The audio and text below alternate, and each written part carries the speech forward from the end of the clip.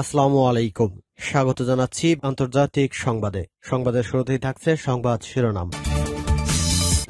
জানিয়ে দিব হাতে থাকা গুরুত্বপূর্ণ আপডেট আন্তর্জাতিক সংবাদ। প্রথমে সংবাদ শিরোনাম। পাঁচশো কেজির ক্ষেপণাস্ত্র দিয়ে ইরানে হামলা করেছিল ইসরায়েল। এরপর জানিয়ে দিব, ইসরায়েল বিরোধী বিক্ষোভ ছড়িয়ে পড়ছে মার্কিন বিশ্ববিদ্যালয়গুলোতে। এদিকে পানি তেল নিরাপত্তা আলোচনায় ইরাক সফরে যাচ্ছেন এরদোগান। এরপর জানিয়ে দিব, তাইওয়ানে এক রাতে আশি বার ভূমিকম্প। এবং সর্বশেষ জানিয়ে দিব, বিশ্বব্যাপী সামরিক ব্যয় সর্বকালের সর্বোচ্চ। শুনছিলেন সংবাদ শিরোনাম, এখন বিস্তারিত। তবে অনুরোধ থাকবে, ভিডিওতে একটি লাইক করে দিন এবং কমেন্ট করে জানিয়ে দিন আপনার মূল্যবান মতামত। পাঁচশো কেজির ক্ষেপণাস্ত্র দিয়ে ইরানে হামলা করেছিল ইসরায়েল। ইরান ইসরায়েল পাল্টাপাল্টি হামলার পর বিশ্বজুড়ে নতুন হিসাব নিকাশ চলছে। দুই দেশের শক্তি নিয়ে হচ্ছে বিশ্লেষণ। চেষ্টা চলছে কারা কি অস্ত্র ব্যবহার করে হামলা করেছে এবং সেই অস্ত্রের শক্তি বা কেমন। এবার জানা গেল ইসরায়েলের ভয়ঙ্কর এক ক্ষেপণাস্ত্রের নাম, যেটি ইরানে হামলায় ব্যবহার করা হয়েছে।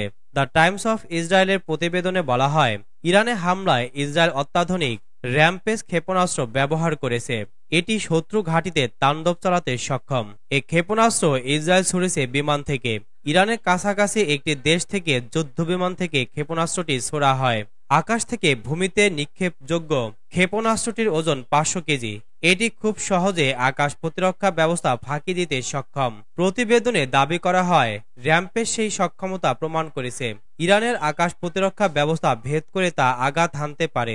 ইসরায়েলের উদ্দেশ্য ছিল ইরানের নাতাঞ্জ পারমাণবিক স্থাপনার কাছে বাংকারের মতো সুরক্ষিত স্থাপনায় হামলা চালিয়ে তাণ্ডব সৃষ্টি করা। শুক্রবার ১৯ এপ্রিল সকালে ইরানের মাটিতে হামলা চালায় ইসরায়েল। ইসরায়েলের মাটিতে তেহরানের হামলার জবাবে তেল আবিব এ হামলা করে। এর আগে ইরান নজিরবিহীনভাবে ইসরায়েলের মাটিতে সরাসরি হামলা করে। এতে দেশটিতে তিনশো এর বেশি ড্রোন ক্ষেপণাস্ত্র ব্যবহার করে। ইসরায়েল বিরোধী বিক্ষোভ ছড়িয়ে পড়ছে মার্কিন বিশ্ববিদ্যালয়গুলোতে। যুক্তরাষ্ট্রের বেশ কয়েকটি বিশ্ববিদ্যালয়ে ফিলিস্তিনপন্থী এবং ইসরায়েল বিরোধী বিক্ষোভ ছড়িয়ে পড়েছে।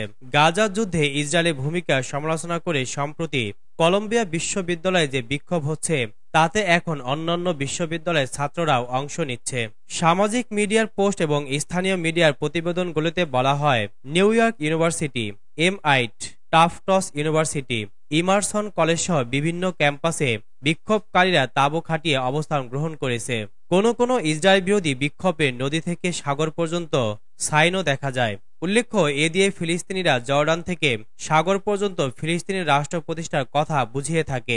এমআইটিতে ছাত্ররা গাজায় যুদ্ধবিরতির আহ্বান জানাতে বিশ্ববিদ্যালয়ে ব্যর্থতার সমালোচনা করে। তারা ইসরায়েলের সামরিক বাহিনীর সাথে এমআইটির সম্পর্ক ছিন্ন করার দাবিও জানায়। ক্যালিফোর্নিয়া বিশ্ববিদ্যালয়, বার্কলে এবং লস অ্যাঞ্জেলেসের সাউদার্ন ক্যালিফোর্নিয়া বিশ্ববিদ্যালয়েও তাঁবু খাটিয়ে শিক্ষার্থীদের বিক্ষোভ করতে দেখা যায়। সবচেয়ে তীব্র বিক্ষোভ হচ্ছে কলম্বিয়া বিশ্ববিদ্যালয়ে। এই বিশ্ববিদ্যালয় এবং এর সাথে সংশ্লিষ্ট বার্নার্ড কলেজের সাথে সম্পর্কিত প্রখ্যাত রাব্বি ইলি বালুচা চরম সেমিটিজম বিরোধিতার কারণে ইহুদি ছাত্রদেরকে বাড়িতে অবস্থান করার আহ্বান জানিয়েছেন। কলম্বিয়া বিশ্ববিদ্যালয়ের শিক্ষার্থীরা সোমবার ভার্চুয়াল ক্লাসে অংশ নিয়েছে। এর ফলে গত সপ্তাহে ফিলিস্তিনিদের সমর্থনে বিক্ষোভের পর নিউ ইয়র্ক সিটি ক্যাম্পাসে উত্তেজনা প্রশমনের আশা করছে কর্তৃপক্ষ। সোমবার এক বিবৃতিতে Columbia president Nemat Minouche Shafik বলেন সম্প্রতি ক্যাম্পাসে ঘটে যাওয়া ইহুদি বিদ্বেষী, ভাষা, ভীতি প্রদর্শন ও হয়রানিমূলক আচরণের নিন্দা জানিয়ে বিশ্ববিদ্যালয় সশরীরে ক্লাস বাতিল করছে। তেল, পানি, নিরাপত্তা আলোচনায় ইরাক সফরে যাচ্ছেন এরদোগান। তুর্কির প্রেসিডেন্ট রিসেপ তাইয়েব এরদোগান সোমবার তার ক্ষমতায় অধিষ্ঠানের কয়েক বছরের মধ্যে প্রথম প্রতিবেশী ইরাকে রাষ্ট্রীয় সফরে যাচ্ছেন। গাজা উপত্যকায় ইসরায়েল হামাজ যুদ্ধ এবং ইসরায়েল ও ইরানের মধ্যে হামলার কারণে আঞ্চলিক উত্তেজনার প্রেক্ষাপটে সফরটি হচ্ছে। খবর এএফপির। ইরাকের উত্তর অঞ্চলে স্বায়ত্তশাসিত কুর্দিস্তান অঞ্চলের রাজধানী আরবিলে কর্মকর্তাদের সাথে আলোচনার আগে বাগদাদে ইরাকের প্রধানমন্ত্রী মোহাম্মদ সিয়া আল সুদানি ও প্রেসিডেন্ট আব্দুল লতিফ রশিদের সাথে এরদোগানের বৈঠক করার কথা রয়েছে। সেখানে পানি, তেল ও আঞ্চলিক নিরাপত্তা বিষয়গুলো আলোচ্য সূচির শীর্ষে থাকবে বলে আশা করা হচ্ছে। সম্প্রতি ওয়াশিংটন সফরে আটলান্টিক কাউন্সিলের এক অনুষ্ঠানে আলোচনার ফাঁকে সুদানি বলেন, ইরাক ও তুরস্কের মধ্যে অভিন্ন ইতিহাস, স্বার্থ ও সুযোগে সাদৃশ্য থাকলেও তাদের মধ্যে সমস্যাও রয়েছে। এরদোগানের সাথে আসন্ন বৈঠক সম্পর্কে তিনি বলেন, পানি ও নিরাপত্তা এজেন্ডা শীর্ষে থাকবে। সুদানির পররাষ্ট্র বিষয়ক উপদেষ্টা ফরহাদ আলাদিন এএফপিকে বলেন, এরদোগান ইরাকি কর্মকর্তাদের সাথে বিনিয়োগ ও বাণিজ্য সহ দুই দেশের সহযোগিতা নিরাপত্তার দিক, পানি ব্যবস্থাপনা ও পানি সম্পদ নিয়ে আলোচনা করবেন।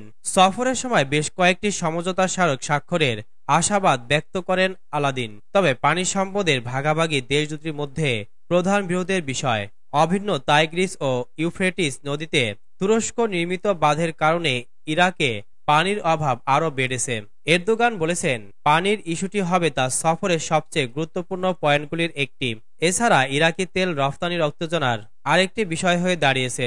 আইনি বিরোধ ও প্রযুক্তিগত সমস্যার কারণে একটি বড় পাইপলাইন এক বছরেরও বেশি সময় ধরে বন্ধ রয়েছে। ইতোপূর্বে স্বায়ত্তশাসিত কুর্দিস্তান অঞ্চলে বাগদাদের কেন্দ্রীয় প্রশাসনের অনুমোদন বা তত্ত্বাবধান ছাড়াই তুরস্কের শেহান বন্দরের মাধ্যমে স্বাধীনভাবে তেল বিক্রি হতো।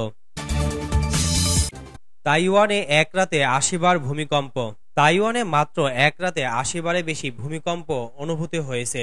এদের মধ্যে সবচেয়ে শক্তিশালী ভূমিকম্পটির মাত্রা ছিল ছয় দশমিক তিন। সোমবার রাত থেকে শুরু করে মঙ্গলবার ভোর পর্যন্ত তাইওয়ানের পূর্ব উপকূলে এসব ভূমিকম্প আঘাত হেনেছে এমনকি দেশটির রাজধানী তাইপেতে পর্যন্ত এসব ভূমিকম্প অনুভূত হয়েছে, খবর রয়টার্সের। এবারের ভূমিকম্পগুলো হুয়ালিয়েনের বৃহত্তর গ্রামীণ এলাকায় বেশি অনুভূত হয়েছে। গত তিন এপ্রিলে ভয়াবহ ভূমিকম্পে এই অঞ্চলটি বাজেভাবে ক্ষতিগ্রস্ত হয়েছিল। রয়টার্সের প্রতিবেদন অনুযায়ী, সোমবার সারা রাতই থেমে থেমে ভূমিকম্প অনুভূত হয়েছে। এতে রাজধানী তাইপে সহ উত্তর পূর্ব ও পশ্চিম তাইওয়ানের বিস্তর এলাকা কেঁপে উঠেছে। হুয়ালিয়েনের ফায়ার সার্ভিস জানিয়েছে, এবারে কম্পনে একটি হোটেল একপাশ হেলে পড়েছে। এই হোটেলটি গত তিন এপ্রিলে ভূমিকম্পে ব্যাপক ক্ষতিগ্রস্ত হয়েছিল। এরপর থেকে এটি বন্ধই ছিল। তবে এবারে ভূমিকম্পে তাইওয়ানে প্রাণহানি বা ক্ষয়ক্ষতির কোনো খবর এখনও পাওয়া যায়নি। দুটি টেকটনিক প্লেটের সংযোগ স্থলে অবস্থিত তাইওয়ান একটি ভূমিকম্প প্রবণ দেশ। প্রায় নিয়মিত এখানে ভূমিকম্প আঘাত হানে। এর আগে গত তিন এপ্রিল তাইওয়ানের পূর্ব উপকূলে সাত দশমিক দুই মাত্রার শক্তিশালী ভূমিকম্প অনুভূত হয়। এই ভূমিকম্পে চোদ্দ জন নিহত হয়। এছাড়া শক্তিশালী এই ভূমিকম্পের পর এক হাজারের মতো আফটার শকের ঘটনা ঘটেছে। তার আগে সবশেষ উনিশশো নিরানব্বই সালে সেখানে সাত দশমিক ছয় মাত্রার ভূমিকম্প আঘাত হেনেছিল। ওই ভূমিকম্পে প্রায় দুই হাজার চারশো মানুষ মারা যান। এছাড়া ভূমিকম্পে পঞ্চাশ হাজার ভবন ধ্বংস বা ক্ষতিগ্রস্ত হয়েছিল। বিশ্বব্যাপী সামরিক ব্যয় সর্বকালের সর্বোচ্চ। বিশ্বব্যাপী সামরিক ব্যয় সর্বকালের সর্বোচ্চ পর্যায়ে পৌঁছেছে। জানা গেছে, গত বছর সারা বিশ্বে সামরিক ব্যয় ছিল দুই দশমিক চার ট্রিলিয়ন ডলার। সোমবার শান্তি প্রতিষ্ঠায় নিবেদিত আন্তর্জাতিক সংগঠন Stockholm International Peace Research Institute SIPRI এক প্রতিবেদনে এ তথ্য প্রকাশ করেছে। সংগঠনটি উনিশশো সাল থেকে সামরিক ব্যয় নিরীক্ষণ করছে। সংস্থাটির বার্ষিক প্রতিবেদনে দেখা গেছে, দুই সালে এই ব্যয় বৈশ্বিক মোট দেশজ উৎপাদনের জিডিপি দুই দশমিক তিন শতাংশ হয়ে গেছে, যা আগের বছর দুই হাজার বাইশ ছিল দুই দশমিক দুই শতাংশ। এর অর্থ হল পৃথিবীর প্রতিটি পুরুষ, নারী এবং শিশুকে গত বছর সামরিক ব্যয়ের জন্য গড়ে তিনশো ছয় ডলার কর আরোপ করা হয়েছিল। স্নায়ুযুদ্ধের পরে এটি সর্বোচ্চ হার। প্রতিবেদনে বলা হয়েছে, এই ব্যয় সব দেশে সমানভাবে বাড়েনি। মাত্র ডজন খানিক দেশে এই ব্যয় ভয়াবহ মাত্রায় বেড়েছে।